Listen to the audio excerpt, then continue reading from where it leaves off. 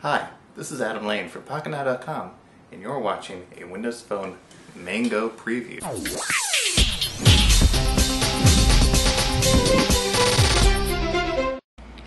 So here we are, and we're going to start with the Start menu. And here it is.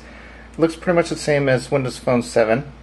Uh, the Mango version has some new live tiles, though. Uh, we'll go through all those. Right here, you see group. You see the people uh, tile has changed. Should be some different animations there. There we go. Uh, so you got more contact photos come in. Sometimes they come in big. Sometimes they come in little little thumbnails there. There's a big one coming in.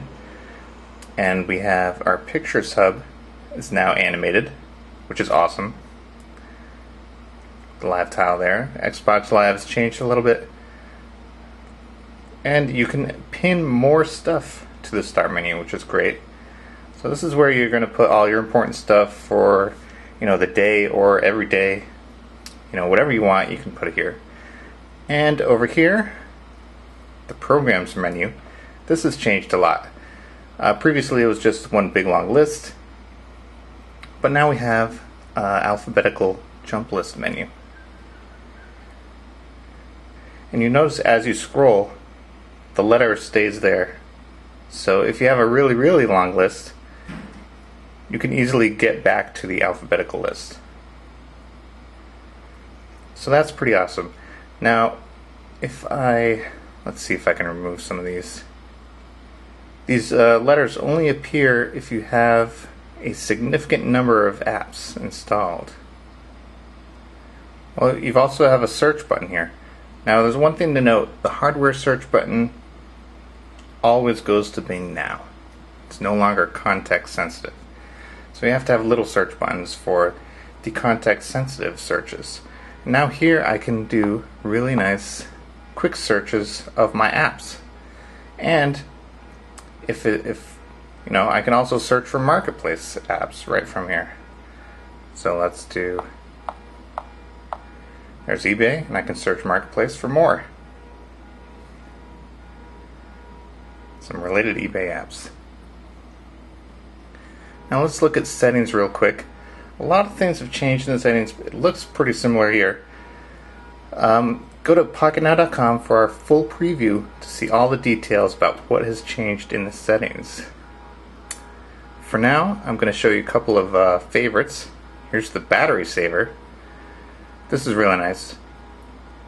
So when the battery is low, it'll turn on the battery saver mode and it'll shut off things like push email, uh, background apps, all that kind of thing. You'll still be able to do everything manually, but it'll be saving battery in the background. So here's, it also shows you estimated time remaining and how long it's been since the last charge. So that's really nice to have. This is another great feature. Turn on battery saver now until next charge. So say you're out and about and you want to save some battery because you don't think you'll be able to get back to a charger very, you know, very soon. Turn that on, and when you plug in, it'll go back to a full power mode. So that's really great. You don't have to remember to turn uh, battery saver mode off. Another big thing in the settings, here's background tasks. Now this is going to list all the apps that have uh, background processes. I don't have any because this is a, a preview and I don't think any exist. Maybe some in development, but that's where they're going to show, and they'll probably have on off switches so that you can decide which ones can uh, perform tasks in the background. almost forgot to show you the big uh, task switching feature. So here we go. Just hold down the back button here. It zooms out, and now you got some thumbnails. And we can really easily choose to switch to a different program right there. Now you see I only have, what, four here?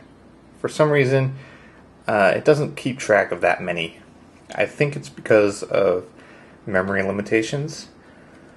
Since I've seen it demoed with a lot more, So it's really going to only show us the most recent ones. But that's pretty nice. Pretty easy to uh, switch programs. Let's try it with a third party app.